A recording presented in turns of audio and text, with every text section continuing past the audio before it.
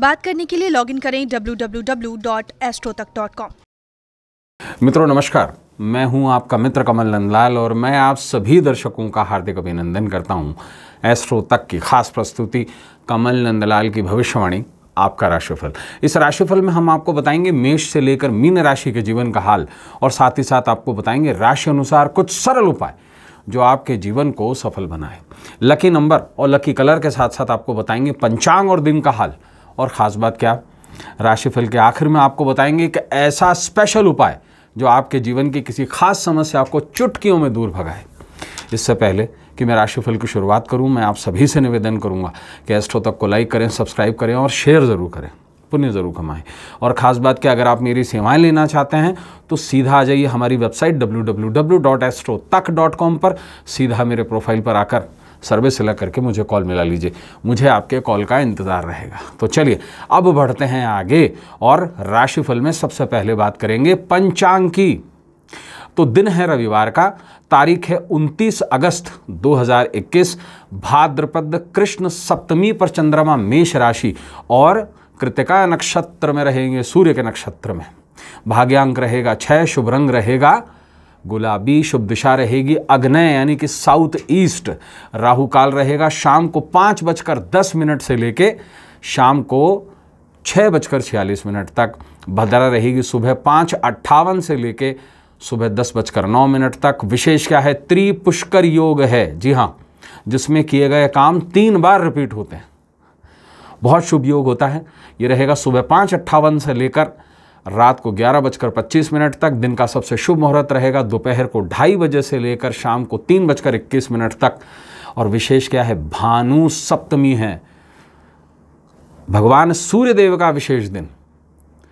और शीतला सप्तमी भी है। इसे शीतला शातम कहते हैं। शीतला शातम। और भाद्रपद कार्तिकाय दीपम भी है। भगवान शंकर का विशेष दिन है, जिस दिन दीपक जलाए जाते हैं संध्या के समय में तेल के। तो आज का जो हमारा स्पेशल उपाय है, वो जुड़ा हुआ है नेत्र रोगों से संबंधित। क्या आपके बच्चे की नज़र कमज़ोर है? क्या आपकी नज़र कमज़ोर है? हुँ? क्या आपको देखने में कुछ तकलीफ़ होने जा रही है? होती है। उम्र का भी तकाजा है। तो ये विशेष उपाय आपके लिए और उसके लिए राशिफल को आखिर तक देखना पड़ेगा। तो चलिए, राशिफल की शुरुआत करते हैं। राशि नंबर एक, मेष यानी कि एरियस के साथ में, मेष राशि वालों व्यक्तित्व आकर्षक बनेगा। पहला चंद्रमा है। रचनात्मक काम जो है वो सफल होंगे। छात्रा, छात्रों की विचारधारा में स्थिरता आएगी, प्रेमी मंदिर में दर्शन के लिए जा सकते हैं और दाम्पत्य में मिठास बढ़ेगी। एक छोटा सा उपाय ज़रूर करें। कुमकुम से डायरी या किसी किताब पर अपना नाम लिखें। लकी नंबर आपके लिए छः रहेगा, लकी कलर रहेगा गुलाबी। बात करेंगे दूसरे राशि वृक्ष यानी कि टॉरस की। वृक्ष राशि वालों, सेहत अच्छी रहेगी, उत्साह से भरे रहेंगे, हर काम पूरा होगा, खास व्यक्ति से मुलाकात हो सकती है, कारोबार में नए अवसर मिल सकते हैं, छात्र अच्छे संस्थान में दाखिले की योजना बनाएँगे, एक छोटा सा उपाय ज़रूर करें, पूजा घर में रूली का उपयोग करें। लकी नंबर तीन रहेगा, लकी कलर रहेगा पीला आपके लिए। बात करेंगे तीसरी राशि मिथुन यानी कि जमनाय की मिथुन राशि वालों, मन जो है वो खुश रहेगा। प्रियजन से खुशखबरी मिल सकती है, पुरानी मेहनत का फल आपको मिल सकता है। सोचे हुए सभी काम आपके पूरे हो सकते हैं, शादीशुदा जीवन बेहतर बन सकता है। संतान को प्रोत्साहित भी करेंगे। एक छोटा सा उपाय है आपके लिए, वो है गरीब महिला को सेब का दान कर दीजिए। लकी नंबर आपके लिए दो रहेगा, लकी कलर रहेगा सफ़ेद आपके लिए। बात करेंगे चौथी राशि कर्क, यानी कि कैंसर की। कर्क राशि वालों, नए कारोबार की शुरुआत जो है वो सफल रह सकती है। काम अधिक होने के कारण मेहनत ज़्यादा करेंगे। बड़ा धन लाभ होने के योग हैं। पुराने दोस्त से अनबन के योग नज़र आते हैं। परिजन व्यवहार से नाराज़ हो सकते हैं आपके। एक छोटा सा उपाय ज़रूर कीजिए। घर की पूर्व दिशा में तांबे का बर्तन रखिए। लकी नंबर आठ रहेगा, लकी कलर रहेगा नीला आपके लिए। बात करते हैं राशि नंबर पाँच, सिंह, यानी कि लियो के सिंह राशि वालों। लेन देन में आपको सतर्क रहना होगा, अन्यथा परेशानी आ सकती है। माता पिता के आशीर्वाद से कामकाज की बाधाएँ दूर हो सकती हैं। छात्रों का आत्मविश्वास जो है वो बढ़ सकता है। बच्चों के साथ घूम फिर कर कहीं बाहर एंजॉय करेंगे अच्छा समय बिताएँगे। एक विशेष उपाय ज़रूर करें। लाल चंदन का उपयोग करें। लकी नंबर आपके लिए सात रहेगा, लकी कलर रहेगा, सिलेटी आपके लिए। बात करेंगे छठी राशि कन्या, यानी वर्गों की कन्या राशि वालों, कामकाज की समस्या जल्द सुलझ जाएगी। धैर्य से काम लेना फलदायी रह सकता है आपके लिए। आर्थिक स्थिति मज़बूत बन सकती है। खास व्यक्ति से मुलाकात लाभ दे सकती है। पारिवारिक तालमेल भी अच्छा रहेगा। एक छोटा सा उपाय ज़रूर करें। दूध में थोड़ा सा शहद मिलाकर पिएँ। लकी नंबर आपके लिए दो रहेगा, लकी कलर रहेगा, सफ़ेद आपके लिए। बात करेंगे सातवीं राशि तुला, यानी कि लिब्रा की। तुला राशि वालों, नए काम में सावधानी रखनी होगी आपको। कारोबारी काम में मदद ना मिलने से कुछ परेशान रह सकते हैं, प्रेम जीवन मधुर बन सकता है।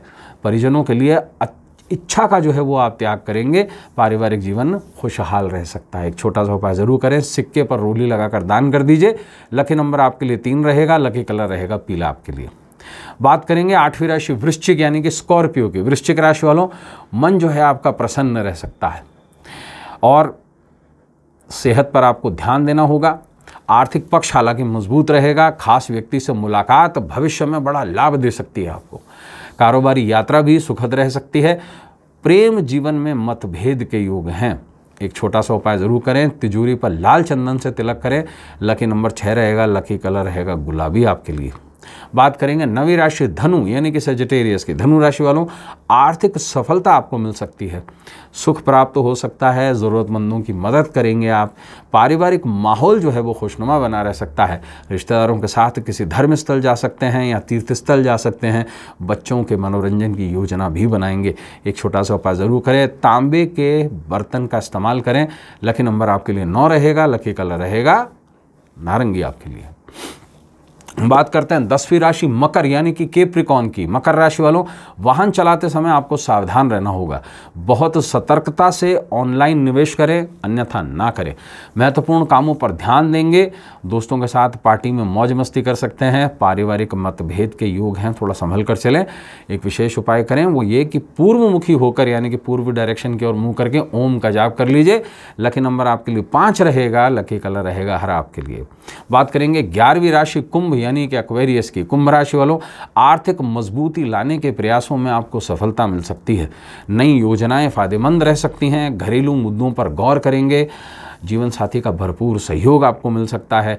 प्रेम जीवन में मजबूती आ सकती है। एक छोटा सा उपाय ज़रूर करें। कर्पूर से लाल चंदन जलाकर धूप करें। लकी नंबर आपके लिए पाँच रहेगा, लकी कलर रहेगा हरा आपका। आपके लिए। बात करेंगे बारहवीं राशि मीन यानी पाइसिस की। मीन राशि वालों कार्य क्षमता से भविष्य में लाभ होगा। उधार दिया हुआ पैसा आपको वापस मिल सकता है। कारोबारियों की किस्मत बुलंद रहेगी। धन लाभ के योग नज़र आते हैं। जीवन साथी के साथ घरेलू खरीदारी के लिए जा सकते हैं। जीरा के दाने जल प्रवाह करें, ये उपाय है आपके लिए। लकी नंबर आपके लिए नौ रहेगा, लकी कलर रहेगा, नारंगी आपके लिए। तो दोस्तों, अब समय है आज के स्पेशल उपाय का। भानु सप्तमी का विशेष दिन है, शीतला सप्तमी है और विशेष कार्तिकाई दीपम है। ये ज्योति का दिन है। ज्योति मतलब आँखें। ज्योतिष वेदान चक्षु। ज्योतिष जो है वेदों की आँखें किसी भी तरीके की आँखों की प्रॉब्लम के लिए ये विशेष दिन है। भानु सप्तमी जब रविवार के दिन सप्तमी पड़ जाती है तो विशिष्ट योग बन जाता है। ऐसे में नेत्र विकार दूर करने का, आँखों की समस्याओं को दूर करने का एक विशेष उपाय आपके लिए है। क्या करें आप?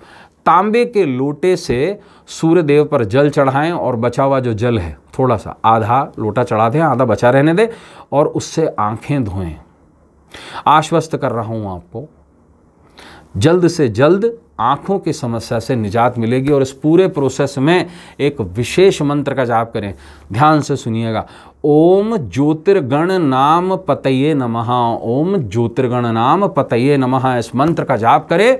आश्वस्त करता हूँ आँखों की समस्या का निदान ज़रूर होगा। तो मित्रों, आज के लिए बस इतना ही। कल आपसे फिर मुलाकात होगी। तब तक देखते रहें एस्ट्रो तक और अपने मित्र कमल नंदलाल को इस उम्मीद के साथ इजाज़त दीजिए कि हम सभी का आने वाला जो भविष्य है, वो सुखद हो, सुंदर हो, स्वर्णिम हो। नमस्कार, नमः शिवाय। हर हर महादेव।